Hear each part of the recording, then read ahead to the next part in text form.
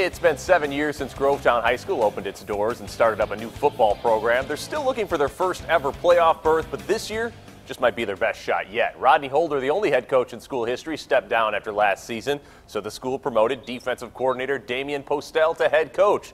The 36 year old former Auburn running back inherits a senior laden roster that recently added three elite players as transfers from Aquinas picking those guys up, you know, late in the summer, coming at the beginning of the season, uh, it's just it's just something you don't really think you'll get, and then when it happens, it's like, well, it's going to push other kids to get better. This will be our first year actually having an opportunity, I feel, to, to make the playoffs and make a state run. I mean, we could really, even being in the class of 6A, you know, this team actually sees themselves going undefeated in the regular season and just making a run.